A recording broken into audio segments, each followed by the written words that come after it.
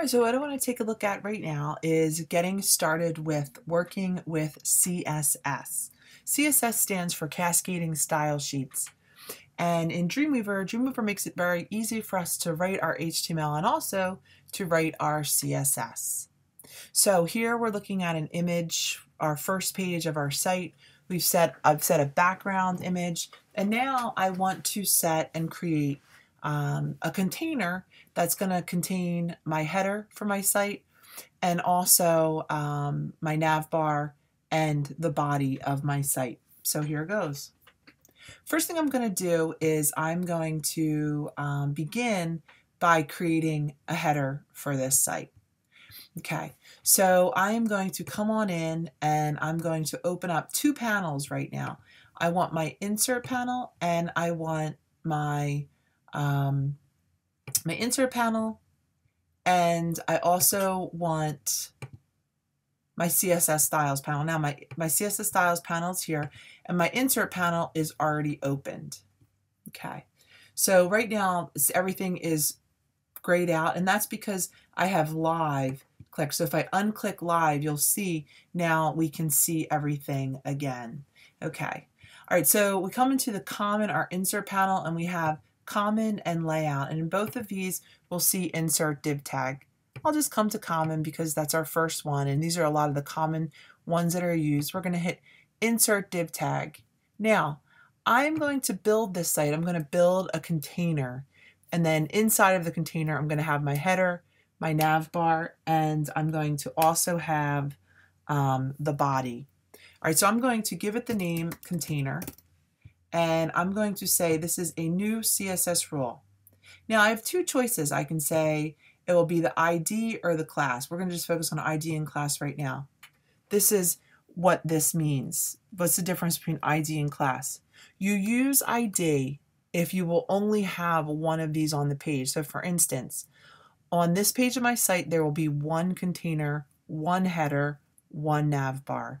Okay, so I am going to use ID for for um, for these. If it was something like box, let's say I was putting in boxes of images, image box, and I was using four of them, then I would use um, then I would use class because you see when you hit class, it says that it can apply to any HTML element. Okay, so there we go. All right, so I'm going to give this the namer name container. And what I want to do is I'm going to actually create a style sheet. I'm going to hit OK. What will happen is Dreamweaver will help you say, okay, now you need to create a style sheet. So I am going to name this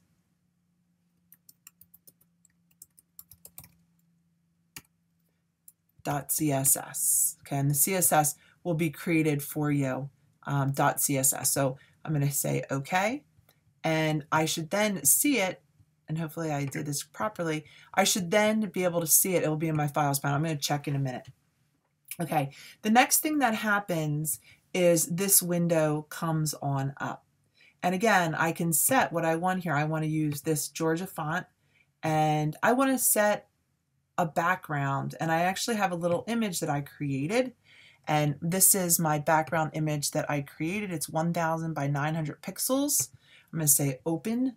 Um, and I'm going to come to my box here and I'm going to put the box at 1000 and the height at 900. Now, again, these can all change based on what it is that you're using. I set it at 1900 um, because that is the size that I created for the background image. I could also come in background and I could set a color. Okay, so there's a lot of different things that you could do. I could work with uh, repeating this. I could work with the attachment, make it a fixed or make it scroll. Um, and I'm going to just leave it there. I'm just putting in my simple little background. Now I'm going to come on in. I set the box to the size 1000 by 900. And I want this to center on the page. So I'm going to actually put all four of these to auto. What will happen when it's at auto, the blue box, actually the image, and it's a blue image that I've created, will be in the center of the web page. So I'll hit apply. I'm going to hit OK. I'm going to hit OK.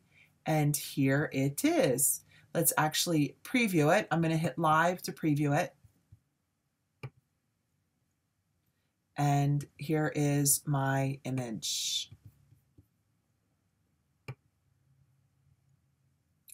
Make it a little bit smaller, but I can see that this is what I have so far. Okay, now what I want to do though is come back in, um, get out of live view. So I'll hit live view again and I'm going to go to split and I want to actually get rid of um, content for ID container goes here. That is gone.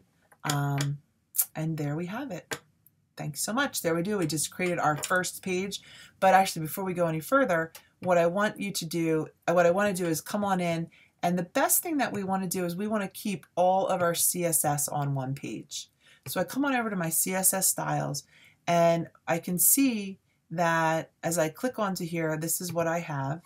Um, and I should be able to see where it all is attached to because I created my CSS sheet.